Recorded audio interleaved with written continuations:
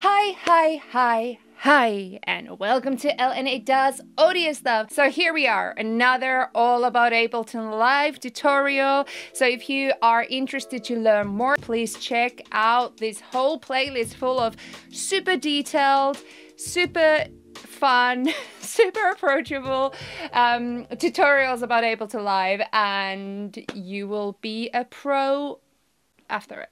I promise. so in this video, we will be learn all about gate. So it will be the, the technicalities of a gate, but also some creative music production tips for you to learn and use in your music production. So let's get into this tutorial now, now, now.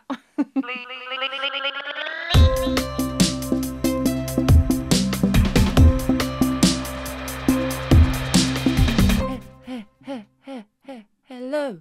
Hello. It's a device that passes only signal that goes above a certain threshold. So we set a line and only things loudness that goes above a certain threshold will be played. That's it. But it can be used so many different ways the most common way of using it is just using it to kind of tidy up, take away unnecessary noise. Uh, example, take away the certain uh, decays of a sound, decays of a reverb, maybe them tighter. So, example, drums, make them more precise. We have this screen that shows uh, the threshold and also the return. So we have the threshold line on the top and return line on the uh, bottom. And then on the right, we see the amount of gain reduction that is being done. A bit like in compression, we see how much is being cut away. But the difference between compression and gate is that gate actually like cuts it away, where compression like squashes it. So there is a couple thing about the visualization that we we need to see. So uh, with the gray area with the white line is the output. So that's what we will hear here. So that's what we are hearing. And then if I lift the threshold, we can see this we can see this other gray area which doesn't have white line behind there and that is the input. That's the input and that's the output. So we're seeing them same time. So we can monitor constantly visually what's happening. So let's have a look what happens with the threshold. So we have first on the bottom. So everything will be passed through.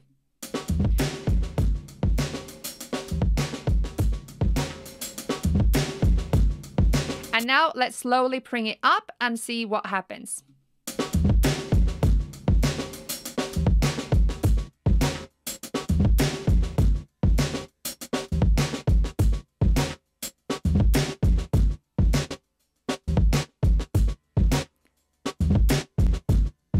So the loudest uh, transients of the signal are basically kick and a little bit of a snare.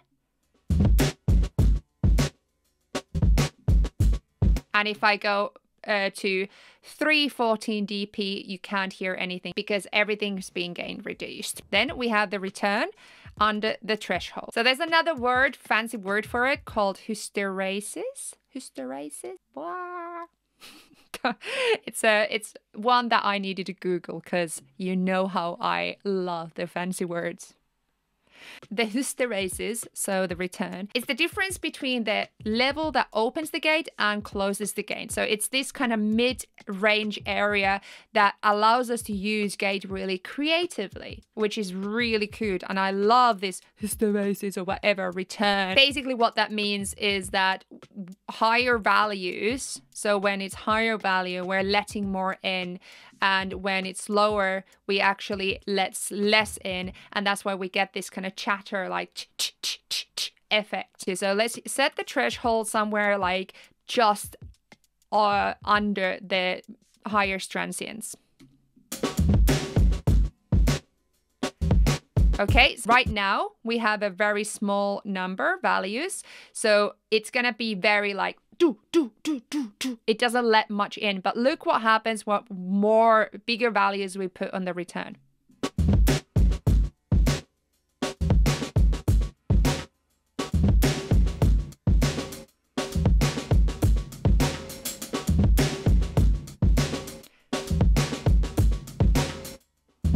So it's basically, as I said, it's the between area between when it opens and closes. So then we have flip and flip is actually so cool. So I really love using it and this especially for sound design purposes can be so cool. So if we flip it, it does the opposite.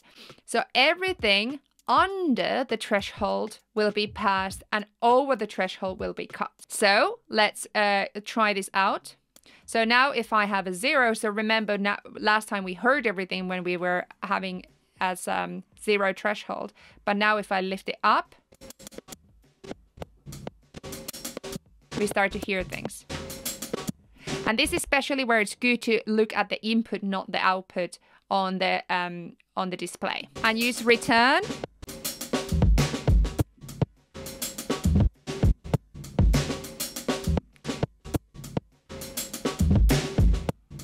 sounds a bit funny, but uh, with different kind of drums, it can sound really cool, or different elements, or the different synthesizers, because you can only hear the highest uh, transients, but you're not going to hear the whole body. Subscribe to my channel. Subscribe to my channel. Subscribe to my channel. Subscribe to my channel.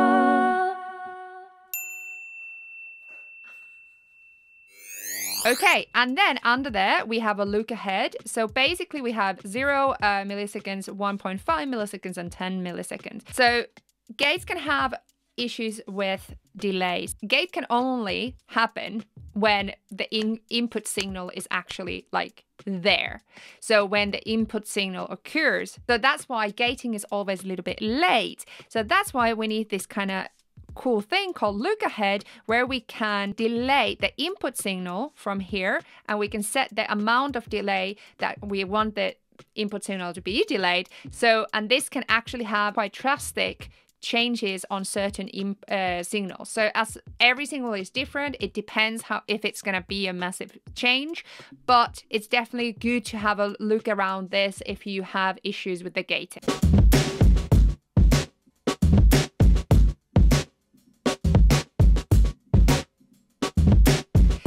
Okay, so the next area we have here is the envelope area. So we have attack, hold, and release. So usually we just have attack and release on envelope areas, but this time we have attack, hold, and release. The attack is the like how fast does it go from close to open. Hold is the time that the signal is below the threshold. So how long it's been kind of cut away. And release is the, the return from that. So how long does it take to close again once it has been open. So open and close means that when we are gating, so we almost have like a door. Are we cutting it? Are we not? Are we cutting it? Are we not? so attack is how fast are we opening it? Hold is how long it's been basically open how how long are we holding it under the threshold? So then release is how fast the gate the gate, literally the gate, it's like a door. How fast does the gate close once it has been opened? So it's open, attack, hold, release. it's a door. Okay, so let's see how that affects it. So we have a threshold, a return. Let's put kind of medium return. Long hold. We can hear a lot more when uh, the hold is very long. Short hold. So very slow attack.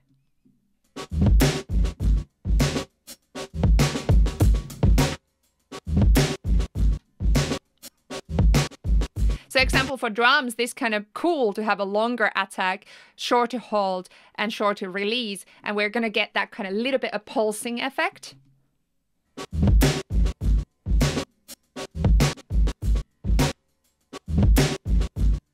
Or other way around, we can have a very short attack, longer release.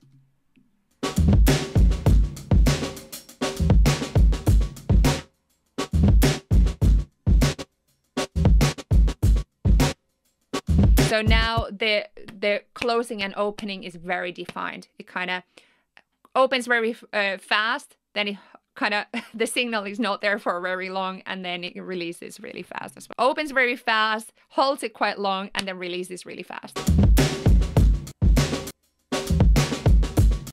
This one could be quite nice for very natural drums as well, especially if you want to just delete some kind of noise from under it. Because sometimes there might be uh, room sounds or uh, bleeding from other instruments and you just want to return take those, but you don't want any kind of pumping sound. So maybe then fast attack, longer hold, and fast release would be good. Okay, so then we have floor. So floor is basically um, has another fancy word in the explanation. the reduction of at attenuation attenuation. So basically the reduction of the force of when the gate is open. So if you have it as zero the gate is basically not it's same as it would be bypassed at all uh, completely. And then if we have a floor, you can see, look at the gain reduction when I put floor up, how much it goes literally to the end here. So we are really taking, so it's the force of how much is it reducing? Is it the black hole of signal or is it, does it just push it down a little bit? So how much gain reduction is being applied when the when the door is open. Okay, so then Gate also has a side chain. Do, do, do, do, do, do. So it has exactly the similar than a compressor. So when you do a side chaining with compressor, uh, it's doing the ducking effect. So it ducks. Example, when you use a kick or something, it ducks because it kind of goes presses it down, but it doesn't cut. I'm gonna go to a bass. So this is the bass track without the gate. Sidechain, activate it, and from the input, I'm just gonna select the drums, okay? And post FX is the what I want, and gain is the input gain or the mix um, the amount of the mix that is coming in. So then also I have an EQ that I'm going to show you in a minute what that means. And let's get going. So let's use the threshold and return, attack, hold, and release and floor uh, to create cool rhythm. So what I'm going to do is that I have the drums now playing and I'm going to mute the track so that we can only hear the bass.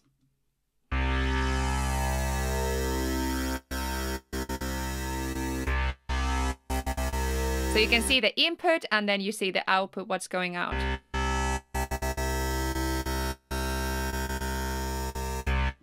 And then let's use attack and release to add the rhythm.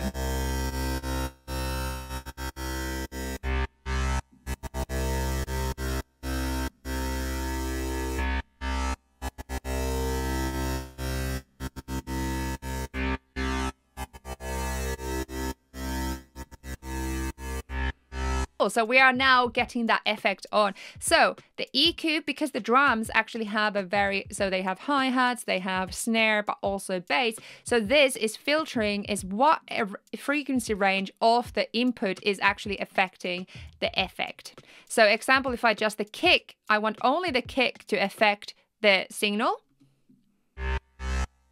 I'm going to put a low pass filter and the filter around the area that the kick is at.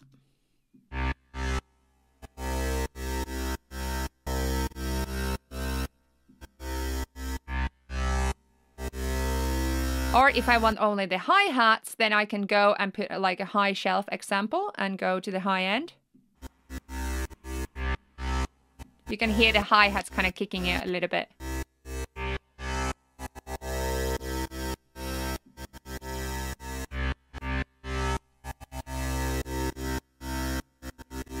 So then together with the drums, it sounds like this.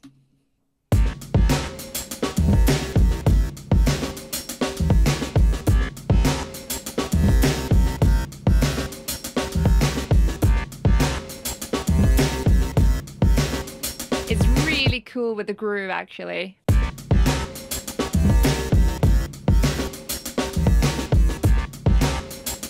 little bit slower attack so we get that we get that kind of like a movement into the uh, into the bass.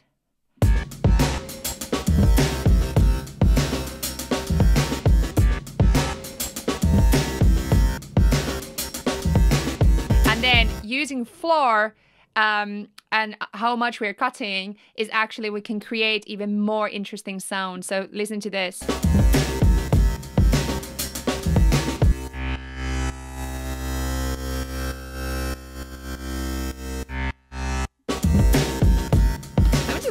Really I'm, I'm just really feeling this hey thank you so much for watching please subscribe please hit the bell icon and please make sure that you come here every single sunday because there is a lot of similar type of content if you like this also make sure to check out my merch that is in the link down below it's so cool. So thank you also for everybody who's part of my Patreon family. Here is the names of the beautiful people part of my Patreon family. I post there more content, uh, live streams, Q&As, all kind of fun stuff. So please join us if you wish uh, from the link down below. So thank you so much for watching. Please come here again and see you next Sunday. See you next Sunday. Bye, bye. Bye.